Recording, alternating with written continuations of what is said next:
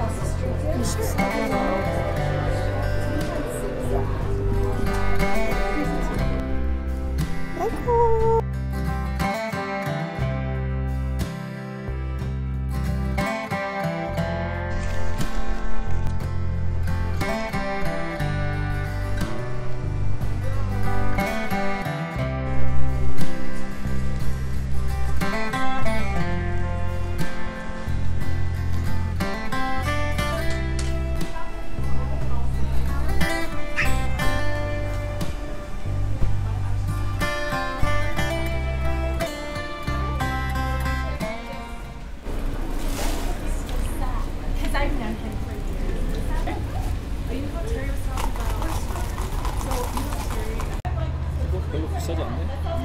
장애 관광도 치고. 아이고 날씨가 더워서 호수에서 저걸 타도 정말 진짜.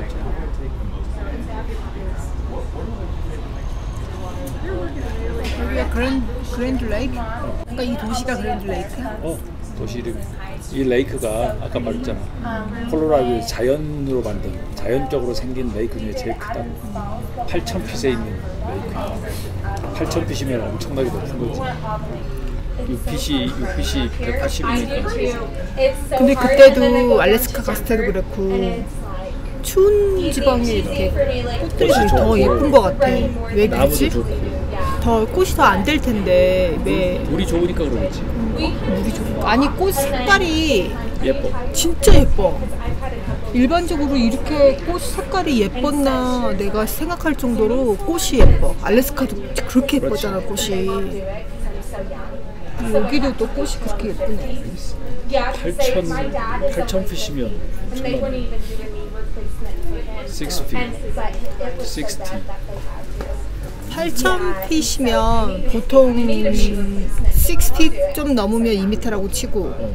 7핏이 뭐 2m 대충 해서 치고 뭐 2,500 2,000 500m가 좀 넘는 거지. 그럼 엄청 높지 이게 백두산 한라산 위에 음, 엄청 위에 있는 거지.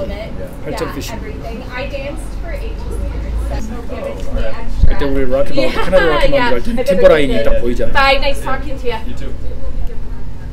근데 이제 우리가 락키마운트 올라가면 그럴 거야.